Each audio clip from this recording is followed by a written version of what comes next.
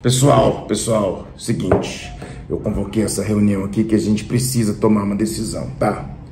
Tá muito complicado a disciplina dos alunos, eles estão muito indisciplinados e vocês precisam parar de mandar os alunos aqui. Qualquer coisa tá mandando para diretoria, ah, eu não tenho mandado, não. a diretoria é a última instância, sabe? Aqui é o STF, aqui é o Supremo Tribunal Pedagógico, sabe? Eu sou Alexandre de Moraes. Demora, tem que demorar para chegar em. Às vezes o aluno é réu primário, primeira merda que ele faz, brigou com um coleguinha, já manda para diretoria, não.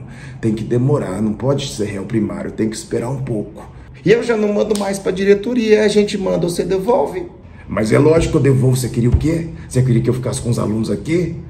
Que eu abrisse aqui um calabouço? Que eu abrisse um cativeiro e sequestrasse? Só devolvesse mediante pagamento para a mãe? Ó, o seu filho está dependendo do aluno, tem mãe que nem paga. Fala, então fica com ele para vocês. Gente, o que, que eu faço? Eu devolvo porque chega um, chega outro, eu faço um rodízio de criança. Eu ainda mando para a diretoria, mando mesmo, mas com todo o respeito, eu, eu tenho mandado, tenho me arrependido de mandar, porque não está adiantando. E parece que devolve pior.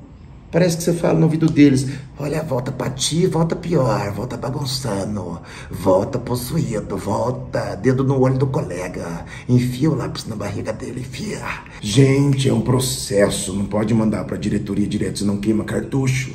É um processo. Parece que vocês desaprenderam. Primeiro xinga, xingou, xinga forte, xinga firme, ó, ó, fica olhando, olhando, ó, hum. Até ele ficar envergonhado. Se xingar não resolver, ameaça. Ameaça. Olha, quem não terminar vai ficar até mais tarde aqui com a tia. Eu não tenho horário para ir embora. Ameaças pedagógicas. Mas não tá adiantando mais, Diri. Não tá adiantando. Eu tô ameaçando. Todo dia eu ameaço. Já não adianta. Se não resolver a ameaça, gente, começa a racionar recurso. É assim que tem rebelião, começa a racionar. Corta banheiro, corta água, corta diversão, corta recreio. Mas não é possível, vocês estão ameaçando? A gente tá ameaçando, a gente tá ameaçando, chefe tá ameaçando. Vou chamar seu pai aqui, quem não terminar não vai embora, e não sei o que, vai ficar até mais tarde comigo, é valendo nota, vai cair na prova. É verdade mesmo, antigamente as ameaças funcionavam, agora já não funciona mais. Sabe, aquela eu vou separar a duplinha, aí separava, aí não, hoje em dia você separar a duplinha, eles continuam conversando no celular, não dá mais, as ameaças tem que mudar, tem que chegar no outro nível de ameaça. E você, Marco, não tem ameaçado? Graças a Deus. Graças a Deus eu não tenho precisado ameaçar, não, sabe? Eu só proponho atividade, jogar bola ali, basquete, eles já ficam bem animados assim. Então, graças a Deus na minha aula não tem precisado ameaçar, não, porque eles gostam muito da aula, sabe? Eles, eles se dedicam bastante já.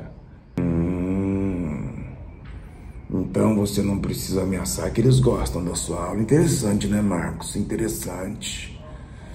Gente, eu tive uma ideia aqui que vai ter que ser uma nova estratégia.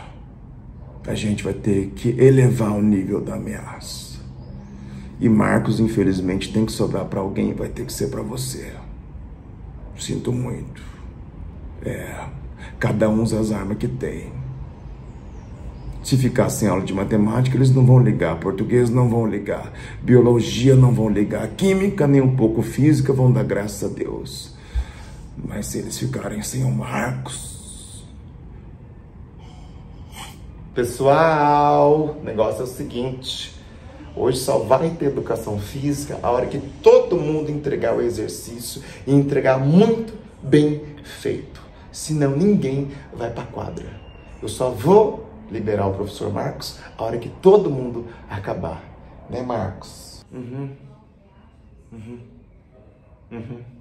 Pessoal, façam, pessoal, façam, pessoal, façam.